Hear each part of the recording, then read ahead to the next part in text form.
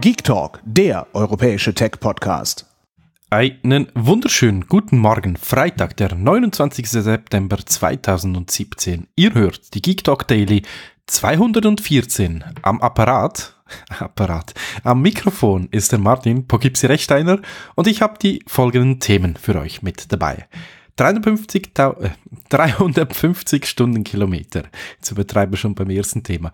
GoPro Hero 6, neue Amazon-Produkte, Kochboxen, Sirup, Bosch, China E-Auto-Quote, USB-C 3.2, Face ID, 30 Millionen Kunden, A1 und FCC. Und an dieser Stelle gilt ein großes Dankeschön an die ganzen Hörer, die mir in den letzten Tagen einiges an Themen zugeschanzt haben. Besten Dank an der Stelle und ja, dann beginne ich doch gleich mal in China. Das ist mir sehr sympathisch. Ich bin ein großer ÖV-Fan, Zug-Fan gibt's noch nicht lange, ich meine, wenn man es vergleicht mit der Schweiz, die eine sehr, sehr lange ähm, Zugtradition haben, also Bahntradition haben, das gibt's bei den Chinesen nicht. Die erste ähm, Hochgeschwindigkeitsbahn gab's in 2008, damals mit der, ich glaube war 2008 mit der, äh, mit der Olympischen Spielen. Mittlerweile gibt's einige Strecken und auf den schnellsten dürfen die bis zu 330 Stundenkilometer rasen und somit kann man zum Beispiel zwischen Peking und Shanghai innerhalb von vier Stunden hin und her reisen. Und das 14 Mal pro Tag. Da möchte ich mal so drei, vier Mal hin und her fahren. Mal, wäre doch auch mal was, um einen Tag zu verbringen. Na dann, mal schauen, wie es weitergeht. Die Chinesen, die habe ich später auch nochmals auf dem Radar. Ihr habt es vielleicht schon in den äh, Voice Tagging gehört. Jetzt geht es aber über zu GoPro.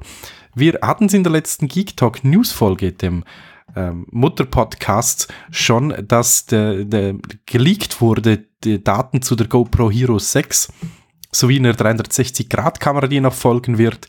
Die wurde jetzt offiziell vorgestellt und ist zum Beispiel hier in der Schweiz schon bei Brack-Ablager zu äh, ausgeliefert, kann ausgeliefert werden. Mein Gott, schwieriges Reden. Heißt, wenn ihr es heute noch bestellt, ist sie morgen am Samstag bei euch. Mal schauen, ob ich, ob ich mir die auch mal ein bisschen genauer anschauen wollt, werde. Der Jan wollte sich ja sowas kaufen, wenn sich's ergibt. Dann haben gestern, aber leider knapp nachdem, dass ich die Aufnahme gemacht hat, Amazon einige Produkte vorgestellt. Und zwar sind das Amazon Echo Nachfolger sowie 240 sowie sowie auch ein Fire-Produkt, also die, das, was am Fernsehen hinten dran kommt und ja, die ganzen äh, Amazon ähm, äh, Echo-Dinger sind geschrumpft, preislich auch interessant. Das Show gibt's neu in Deutschland. Ich würde sagen, das schauen wir ein bisschen detaillierter dann im Newsfolge, in der Newsfolge vom Geek Talk im großen Format an. Wirklich spannend. Mich hat vor allem der Show ein bisschen wieder mal äh, sehr, sehr neugierig gemacht. Den muss ich mir unbedingt anschauen, genauer.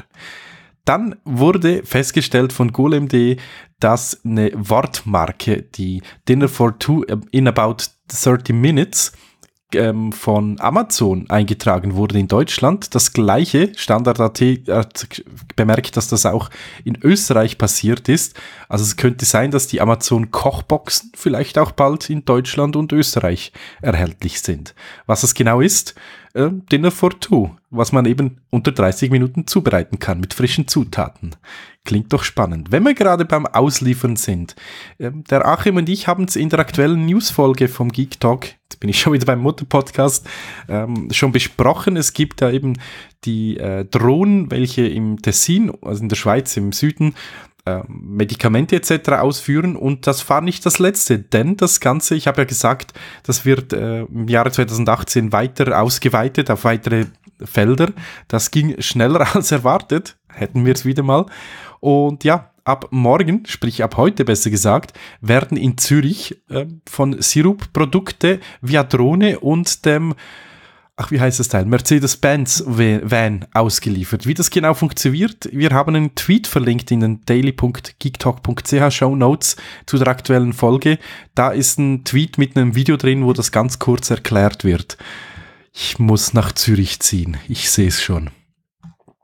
Kobi, das ist ein Kickstarter-Projekt, was wir auf dem Battery Bike, also auf unserem E-Bike-Blog vom Poughkeepsie Network, mal vorgestellt haben vor einigen Monaten und das wurde jetzt aufgekauft. Bosch ist ja sehr fleißig im Bereich E-Bike unterwegs, nicht nur mit Akkus und Fahrgestellen etc. Die möchten das Ganze jetzt auch ein bisschen, ja, ähm, mehr, mit mehr Sensoren versehen und verstärken und deshalb haben sie sich Kobi zugelegt. Sicherlich kein doofer Kauf. Jetzt kommen wir wieder zurück zu den Chinesen, wie vorher schon erwähnt. Die machen jetzt wirklich ernst, denn ab 2019, leider äh, erst 2019, eigentlich wollten sie 2018, führen sie eine E-Auto-Quote ein. Also jeder Hersteller, der in China Autos verkauft und mehr als 30.000 Units ver verschickt, darf mindestens 10% davon in Elektroautos abliefern. Ansonsten ähm, ist es weniger praktisch. Und das wird sich dann steigen von Jahr zu Jahr. 2020 soll das schon auf 12% hochgehen. Sowas hätte ich gerne auch hier in der Schweiz und sicherlich auch Deutschland und Österreich. Das wäre keine doofe Idee, würde ich behaupten.